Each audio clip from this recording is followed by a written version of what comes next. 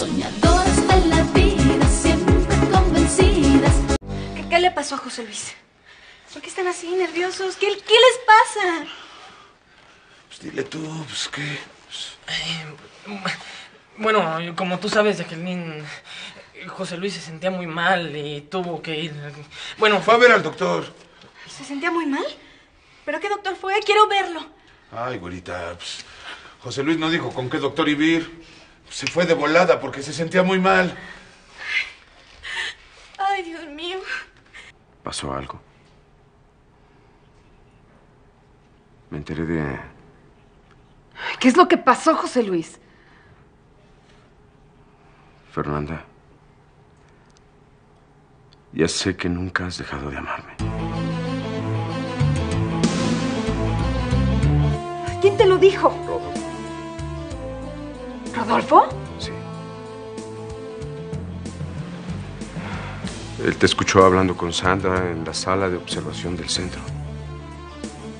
Rodolfo estaba detrás del espejo y escuchó todo. Lo primero que quiero decirte es que... Que me perdones por todas las veces que te dije que te odiaba.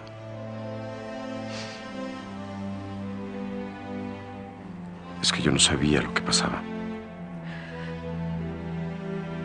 No sabía que te estaba sacrificando por conseguir mi libertad. Nunca. Nunca debiste haberte enterado de la verdad, José Luis. Yo. Yo no pensaba decirte nunca la verdad. Pero ¿por qué callar que me amas?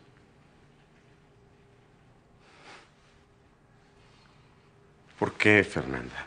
¿Por qué callar que me amas si ya te separaste de Eugenio, eh?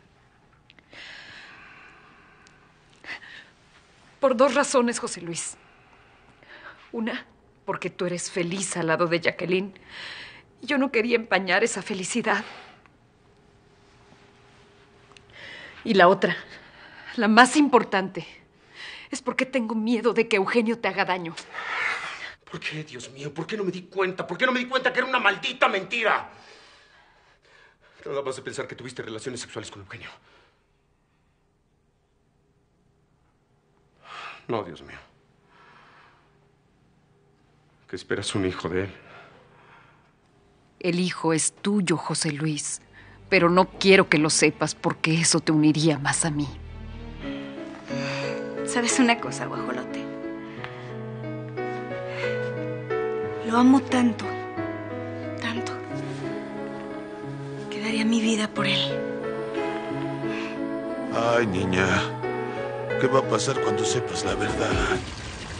nunca había conocido a una niña como tú. Ay, ya párale, porque me lo voy a creer. Pues créelo. Porque te estoy diciendo la verdad. Te estoy hablando con el corazón.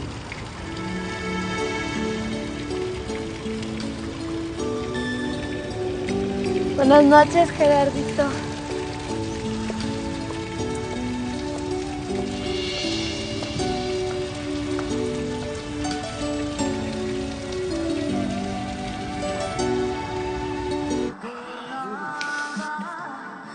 ¡No! ¡No llores así!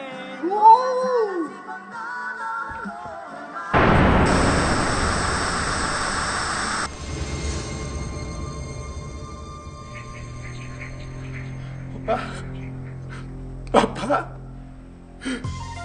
Manuel. Manuel. Papá. Papá. Soñadoras de la vida, siempre convencidas.